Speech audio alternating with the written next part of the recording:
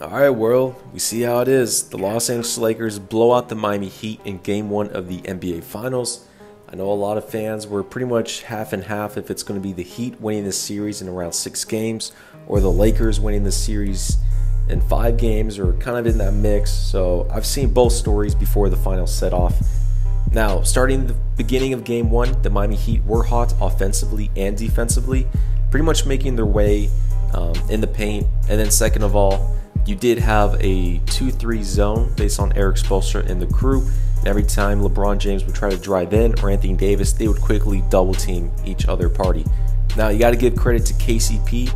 So whenever LeBron James was double teamed, he would kick it out to an open KCP, and he hit around two to three threes in the first quarter, which really got the Los Angeles Lakers rolling because AD and LeBron couldn't really score offensively in the beginning.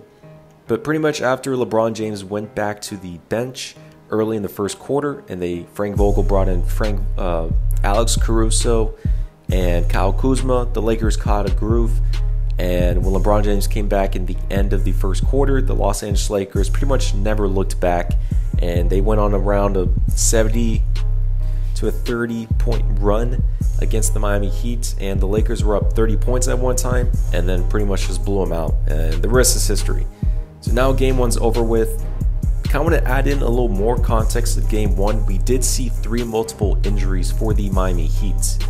Now, number one, we did have Jimmy Butler. He rolled his ankle. Um, and in the beginning of the game, he rolled his ankle and he got back to the free throw line. Um, he pretty much continued to play.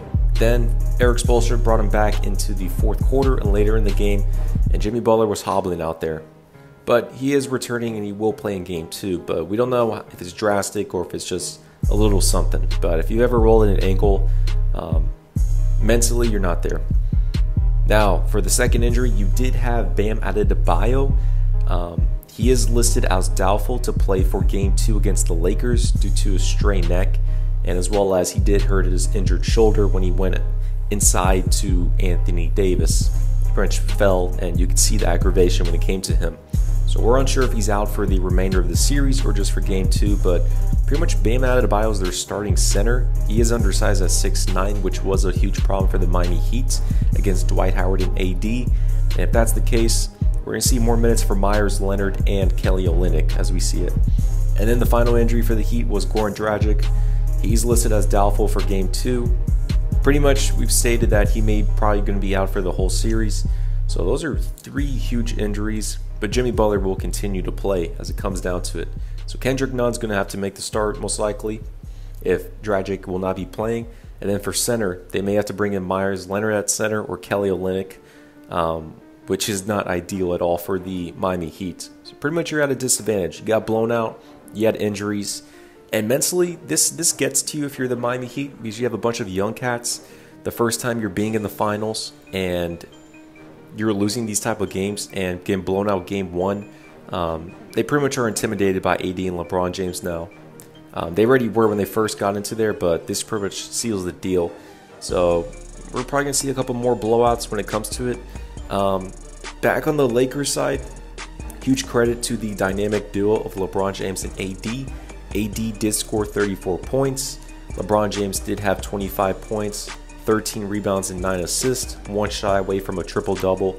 And of course, LeBron James takes everything overall, the whole foundation of, you know, passing, scoring, initiating the offense, and impact. And Anthony Davis took on, of course, the defensive side with three blocks and offensively, 34 points. He takes the offensive side as well. And that's what LeBron James kicks it out to Anthony Davis for. Uh, he knows he can score, and pretty much the Heat have a terrible matchup against Anthony Davis. But for LeBron James, they'll throw Andre Iguodala, Jae Crowder, and double teams at him. So LeBron is using matchups to his advantage when it comes down to it. Uh, overall, for game one's blowout, everyone was pretty much now saying that the Lakers are going to sweep, or if anything, a gentleman's sweep. Um, question is the series over? Now, I'm not going to jump the gun and be in the moment. I give respect to the Miami Heat they were able to pretty much sweep or gentlemen sweep the Milwaukee Bucks, take down the Pacers in a sweep, and take down the Boston Celtics. So I'll give them the benefit of the doubt. I'll give them the respect. They are a You know, they're they're a rusty team. They go out there, um, they're dogs, and so I expect the defense to pretty much kick it up. And with Pat Riley and Spoelstra, they're not going to go out like this. They're champions. They have pride, and let alone they're going to have a strategic strategy. So you got to give him the credit. I think Duncan Robinson, who only had 27 minutes, zero points, he'll hit a couple more shots. Tyler Herro, this is going to lead more minutes and opportunity for him on the defensive side since Goran Dragic is out. You could see possibly Tyler Herro start in, in replacement of him, but don't knock out the Miami Heat just like this. I think this series at most will go five games. Um, I've always stated the Lakers would win in six, but with these injuries, Bam Adebayo, it's too much um, for matchups as it was even worse as it was. But I'll give the Heat benefit of the doubt. I'll, i think there could probably be one or two close games still in this series, but that kind of depends on game two and injuries that are foretold within here. But kudos to the Los Angeles Lakers. They're in a great position. LeBron has his rest since of COVID and of the bubble. And I think the Lakers right now, they've always had great chemistry throughout the season. They've always been a unit together, and they're all looking for that championship for Kobe and the championship for Bron Bron. So I say still, Lakers going to going to win the series in five. Um, could be a sweep. It could happen. That'd be great for LeBron's legacy. Um, but overall, Lakers, they're good.